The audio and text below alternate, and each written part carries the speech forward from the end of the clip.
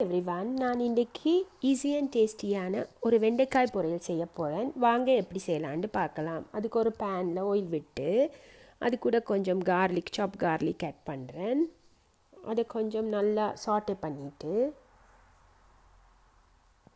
இதுக்கு நான் ஒலிவன் ஆயில் தான் யூஸ் பண்ணுறேன்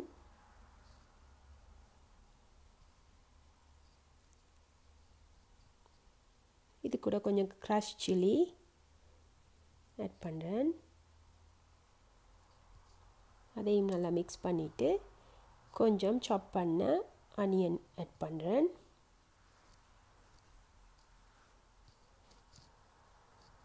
அதுவும் கொஞ்சம் குக் ஆகணும் உடனே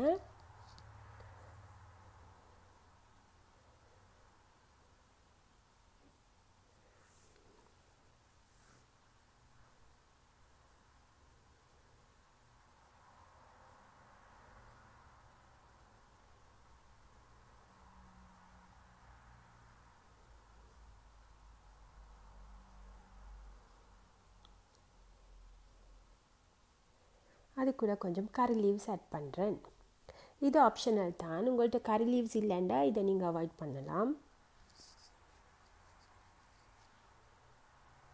அதையும் மெட் பண்ணி மிக்ஸ் பண்ணிவிட்டு நாங்கள் இது கூட சப் பண்ணி வச்ச வெண்டைக்காவை ஆட் பண்ணுறோம் இந்த மிக்சரை நீங்கள் மீடியம் டு ஹை ஃப்ளேமில் தான் குக் பண்ண வேணும். அப்போ தான் நல்லா இல்லாட்டி அந்த வெண்டைக்காயில் இருக்கிற ஒரு ஸ்லைமி தன்மை இருக்கும். அது லோவில் நீங்கள் குக் ஆனால் அது அந்த அந்த ஸ்ட்ரக்சர் ஒரு மாதிரி ஸ்லைமியாக இருக்கும். அதனால் நீங்கள் ஹை ஃப்ளேமில் குக் பண்ணிங்கன்னா அப்படி அது சான்ஸ் அது வர சான்ஸ் இல்லை. அதனால நீங்கள் நல்லா ஹை ஃப்ளேமும் மீடியம் டு ஹை ஃப்ளேம் வச்சு குக் பண்ணுங்கள் இது குக்காக மேக்ஸிமம் ஒரு டூ டு த்ரீ மினிட்ஸில் வெண்டைக்காய் குக் ஆகிரும். அதுக்கு பிறகு நீங்கள் வெண்டைக்காய்க்கு தேவையான ஒரு சால்ட்டை போட்டுட்டு சால்ட்டை மிக்ஸ் பண்ணி ஒரு one to two minutes cook பண்ணால் ரெடி ஆகிடும் உங்களோட வெண்டைக்காய் பொரியல்.